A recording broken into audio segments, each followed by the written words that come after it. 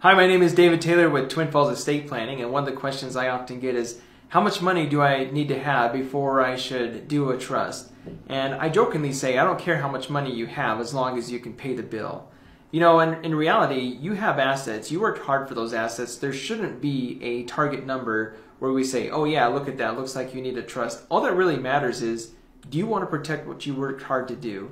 The other thing, too, is to consider is if you have minor children, then it's important to do an estate plan so you can name the potential guardian in case both of you were to pass away.